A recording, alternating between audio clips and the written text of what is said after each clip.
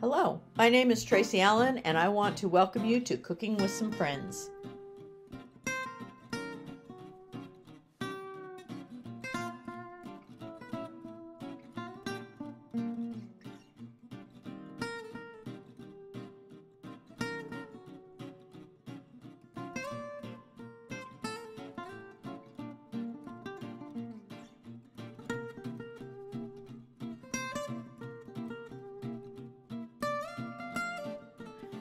Hello, welcome to Cooking with Some Friends. I have help in the kitchen. Say hi. Can you say hi, Emma? She doesn't perform. Yeah. um, Brian came and brought the kids today, and we are going to grill, but we're also going to make some brownie puppy chow. And Josh is going to help do that. Um, but we're going to start with the the start the part that goes on the stove. What what? How high is the heat? Uh, Is it low so it doesn't burn? yeah, Yes. because So if you put sometimes if you put chocolate too high, it might burn. it might, yes. So in the pan we have um, a cup of semi-sweet chocolate chips, correct? Yes. A half a cup of peanut butter and a half a cup of butter that we're going to melt to melt together. Although Josh is busy eating some of the other stuff. Creamy peanut butter, not chunky. Yes. Um, and we're going to cook that till it melts, and then we're going to add some vanilla to it. And then this will go over our nine cups of Rice Chex. Um, Let me hold this. our nine cups of Rice Chex, which is basically a whole box of Rice Chex. Why can't I help? Um, okay, so when Daddy gets that in there, we're going to put then we're going to put powdered sugar in both of our bags.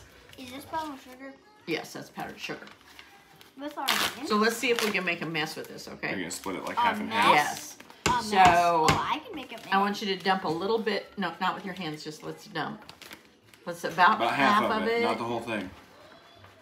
in that bag. Whatever you spill, you have Okay. to lick off the counter. He's teasing. And then half of it in this one. You want to dump it? Oh, let me get a hold of the It's, bag. pro- it's probably all of it. Yep, it's the rest of it. So dump that in. That was easy. Good job. Okay, so when Daddy's done with the mixture, mm-hmm. the chocolate mixture, then he- he's gonna dump that over the cereal and mix it in, and then we're gonna split the cereal into both the bags and shake it up really well. Oh, that's not.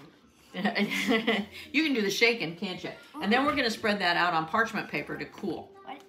Is there? Don't. Yeah. That burner's hot, okay? Is there one? Okay, so we'll come back once we get the chocolate melted. Josh, what do you usually use powdered sugar for? Strawberries. You like it on your strawberries? I do have some strawberries. He likes to dip them in the powdered sugar. I want some. Okay, the chocolate is melted and peanut butter and butter. And now, Josh, can you set the bowl right there on that orange thing? Right here. Yeah, sure. Now we're gonna dump it over the cereal But make sure you don't put Yeah. your hand over here because Yeah. that's hot, okay? and don't touch Yours has a little pour spout on it. Yes. I'm gonna mix that all in, and then that's gonna go in the. We're gonna divide it between the two Ziploc bags that Josh put the powdered sugar in. Watch Josh, pan, watch the pan. It's hot. You want to reach in there and stir that with your hands? No. Say That would be no, really it's hot. hot. Don't do that. That would really hurt. yes. All right.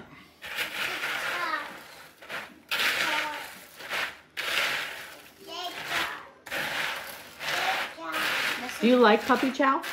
I don't know. We've never had it. Really? We don't eat a lot of puppy chow. This is very satisfying. Very satisfying.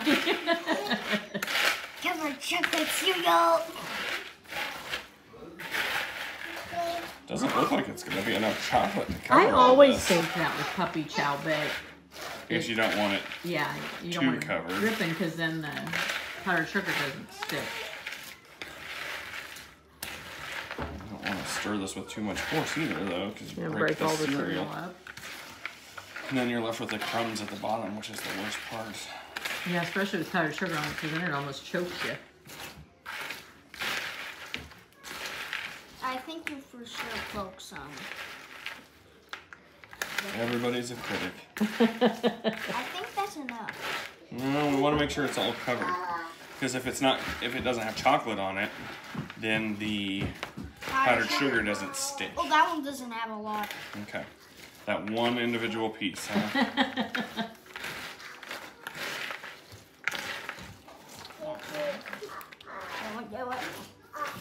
So Josh, of the things we're gonna put in here after this cools, which ones are your, hold on, which ones are your favorite? The goldfish pretzels, the peanut Oh, butter goldfish. M&Ms, the chocolate chips, or the white chocolate chips? I like this in the white. You like the white chocolate chips? Your mom's would be the peanut butter M&Ms. Yes. She loves peanut butter M&Ms. I'm just Okay. mixing this Now we're gonna split it between the two bags and shake it up. Ooh, can I do it? Yeah, I'm gonna try that. Once he gets it in there, then we, can- you can shake it Is up, that okay? video so long? What, huh? Is that video? Yeah, you're gonna be a YouTube star. Again. Did you watch the other one, YouTube? Has he been in one? videos? Yeah. You made corn dogs, remember? Oh yeah. Baby Need a bigger shark, spoon. Baby shark. I mean, I guess I could have just dumped it, but. Baby shark. Mommy. Is acting? Oh! gotcha. That was hard. Is that better? Oh yeah. What do you think, Mom? That's probably close to half. About one more. Yeah. Okay. All right, I'm gonna it seal this up, to Josh, and you're gonna shake it. Ooh. And shake it as hard as you can. Turn it upside down, all around. Get all that powdered sugar on the bottom to go all over the cereal. And that's why we gotta make sure it seals really well. Yeah, otherwise you'll have it on the floor. Okay. Turn it Don't smash it. Shake it. upside down. Yeah, you can. Yeah, like Let me try. Okay. Okay. You finish You do the rest of it. And then he'll give you the other one. Okay, and we're gonna do that with the second one. Okay. Okay, we lost Josh. Cousins came. Yeah, He's- cousins came, so he got preoccupied. So our cereal with chocolate on it is cooled, and so now we're going to add the other stuff in. So Brian's going to add in um, a cup of chocolate chips and a cup of white chocolate chips that are mixed together. Um, a cup of pretzels and a cup of peanut M&Ms. Peanut butter. Peanut butter peanut M&Ms, butter not peanut. M&Ms. Very good. And the last thing, um, I go outside. Okay, you go outside. some brownie chunks. Shut the door. Shut the door. You can go out in a minute, baby. Um, some brownie chunks, and we chose the easy way out. And um, Emma. we bought cosmic brownies. Emma, you want a piece of brownie? We bought cosmic brownies and cut those up, but you could make your own brownies and cut those into bite-sized pieces. So once he gets these in, we're gonna mix this up.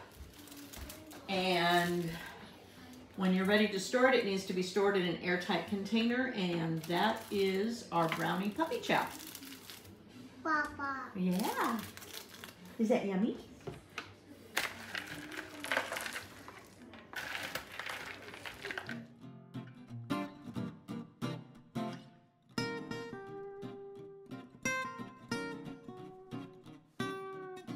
Hello and happy holidays. Merry Christmas to um, all of you, um, and welcome to Cooking with Some Friends. I'm still in the process. We've made several different kinds of candy um, for the holidays, and one of them that we all like are Oreo truffles, and they are so simple. And I explained this when I made the peanut butter truffles.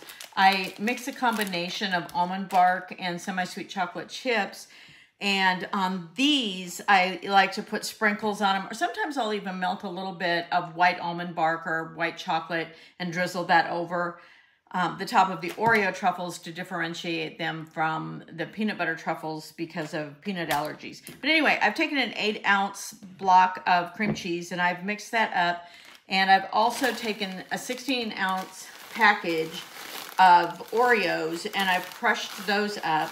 And so I'm going to stir these two together, mix them together with my mixer. And then I'm going to um, go ahead and roll these into about one inch balls and I'm going to let those chill. Um, so that's the process. Once they're done chilling, I can take them out, dip them in the almond bark, put the sprinkles or the other chocolate on it, and then store those in an airtight container. And these can be frozen. So um, I'm going to go ahead and add my crushed Oreos.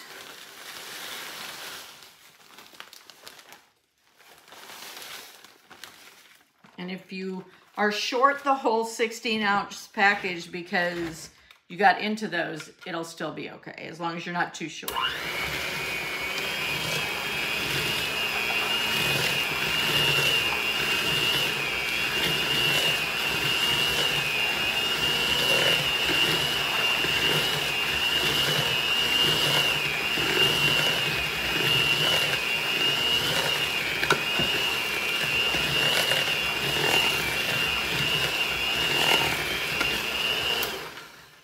Okay. These are ready to form into balls. And like I said, about an inch or so. And I'll roll these out, put them in an airtight container, refrigerate them, and then they'll be ready to dip in chocolate in about an hour. Okay, we're back to finish up our Oreo truffles this morning, and I you can leave them in the refrigerator for an hour, or like I sometimes do if I get busy, as long as they're tightly covered, you can do it overnight, and that's what I did. Um, excuse me.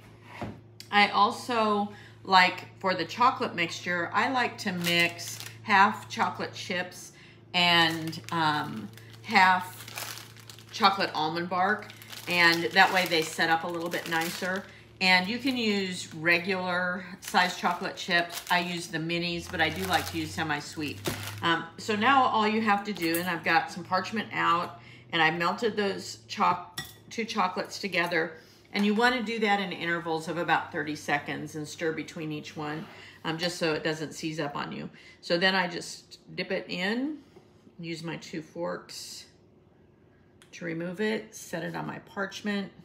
And I usually do a couple at a time, through actually three or four. And then I like to put sprinkles on, but again, I do this mostly because, well, one, I like the looks of it, um, but the other reason being that my grandchildren who are allergic to peanut butter um, know these are okay for them to go for when they're looking for candy. So I'm gonna complete um, all of these Oreo truffles, put them on, sprinkle them, and let them set.